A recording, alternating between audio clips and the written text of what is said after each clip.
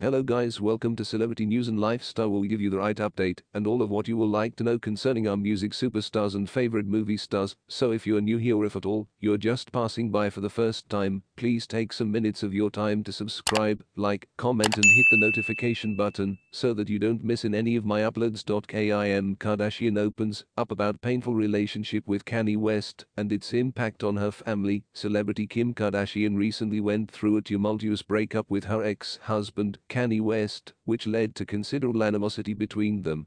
The couple had previously struggled to come to a mutual understanding during and after their breakup. During an interview on the Angie Martinez IRL podcast on December the 26th, 2022, Kim Kardashian becomes emotional, pausing briefly as she pulls herself up to discuss her split from Kanye West on December and the implications. Her to her family, according to US Weekly. The Keeping Up with the Kardashians star said that after a long struggle, she has finally achieved a sense of freedom. I'm comfortable with everything, there are times you're going to have your moment, but I'll say this last year, this year for me, even though I'm very emotional before talking about Kanye, but I feel free in that sense. I am no one else, I don't hold other people's thoughts, opinions, or burdens, and I used to feel guilty for not being there to fix the situation, and I wasn't there to put it. Everything in the right place. Now I'm free, Kardashian said after touching on West 45 earlier in an interview posted December the 26th, 2022. Kardashian, who filed for divorce from West in February in 2021, had four children with the rapper. North, 9, Saint, 6, Chicago, 4, and Psalm, 3. Following their split, West made a series of allegations against Kardashian, alleging that she stopped him. Spend time with their children and be firm about their educational choices testing my personality to make me not look like the character is the only hard thing.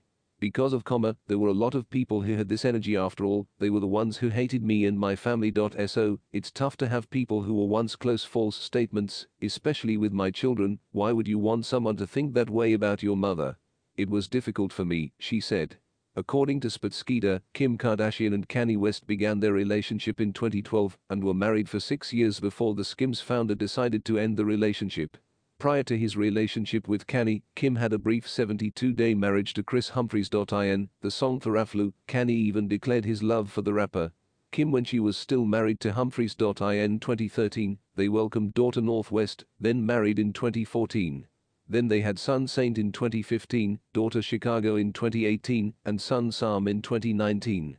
This year, Kanye has been facing mental health issues.